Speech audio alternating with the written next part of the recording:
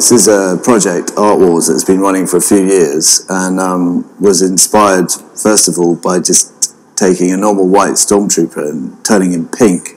That was the first one, the pink stormtrooper. Star Wars is something that is very mainstream, you know, appeals to all ages. Um, and the, the helmet, the object of the helmet is one of the most iconic, is the most iconic object in film history. So when people walk in, they're going to see a selection of 14 different Stormtrooper helmets by some great artists, including uh, Ben Eine, Brand Simonson, Joana Vasconcelos, uh, Philip Colbert.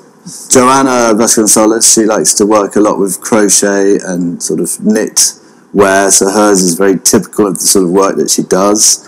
I should talk about Lauren Baker's, the neon piece. She always works a lot with neon.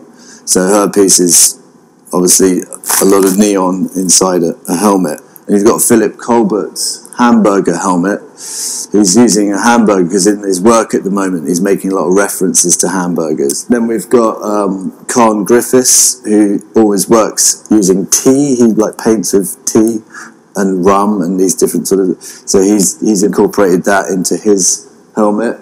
Ben Eine always works with letters, big letters. You'll see his work around London on walls. The proceeds from Art Wars goes to two charities. There's the Missing Tom Fund that I set up to find my brother uh, who left or went missing in 2003. Myself and my family have been searching for him ever since. And shows like this are able to like get his face out there and get more uh, awareness for him and often lead to more sightings and more progress in, in, in the search for him. There's an empty plinth with no helmet on and that's actually in uh, homage to my brother. So it's a missing it's a missing piece.